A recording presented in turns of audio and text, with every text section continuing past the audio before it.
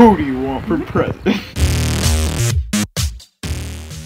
George, George, George, George, George, George, George, George, George, George, George. We're here at Mount Vernon to get an exclusive interview with George Washington. Let's go.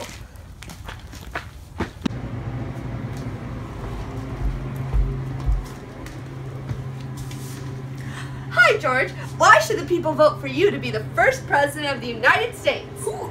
How? How did you get in here? Great. If you were president, what would you do? I don't want to be. I don't want to be president. You heard it here first, ladies and gentlemen. Get out of my house! Washington is the white man's man. Get out of my house! Here are all the people voting for George. Who are you voting for? George. Are you voting for George? Yeah, bruh. Great.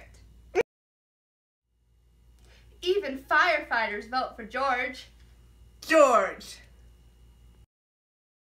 Ready? Even dogs like George Washington.